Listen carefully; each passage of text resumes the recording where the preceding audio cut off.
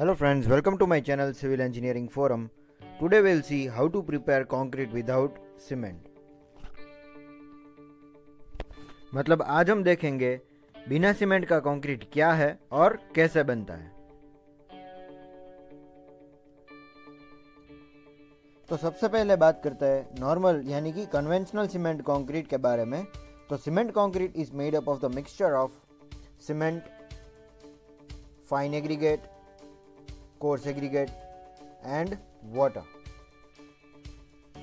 तो अगर हमें बिना सीमेंट का कंक्रीट बनाना हो तो उसे बोलते हैं जियो पॉलीमर कंक्रीट जिसमें सीमेंट और वाटर दोनों ही नहीं यूज़ होते। So now the question arises how can we bind fine and coarse aggregate जो कि सीमेंट कन्वेंशनल कंक्रीट में करता था?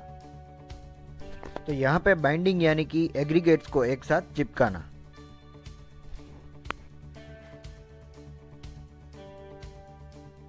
तो विदाउट सीमेंट जियोपॉलीमर में बाइंडिंग करता है alkaline material that is combination of sodium hydroxide that is NaOH and sodium silicate, that is Na2SiO3. So, the combination of sodium hydroxide and sodium silicate could be used as alkaline binder. मतलब geopolymer concrete में sodium hydroxide और sodium silicate alkaline binder का काम करता है, यानी कि aggregates को चिपकाने का काम करता है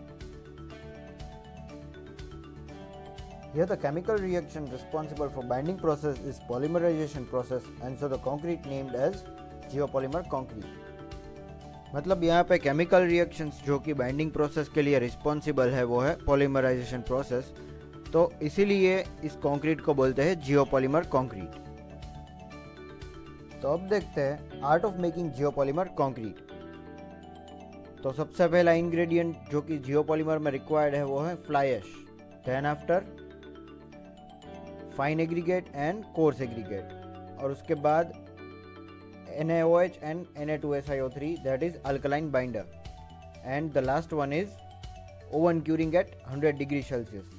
तो जैसे कि हम नॉर्मल सीमेंट कंक्रीट में वाटर से क्यूरिंग करते हैं, इसमें रिक्वायर्ड है oven curing so we can follow this method to prepare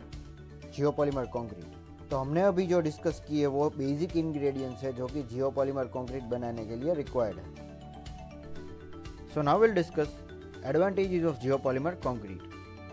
so the first advantage of geopolymer concrete is it has rapid strength gain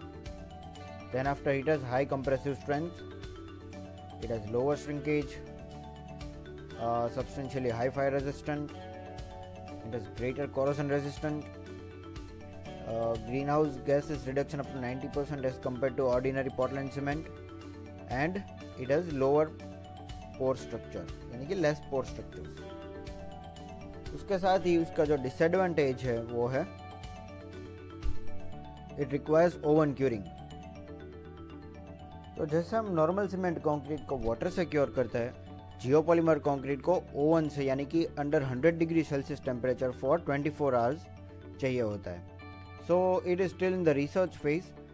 अगर आपको मेरा ये वीडियो अच्छा लगा then please click on the like button and share and subscribe it to your friends and uh, keep watching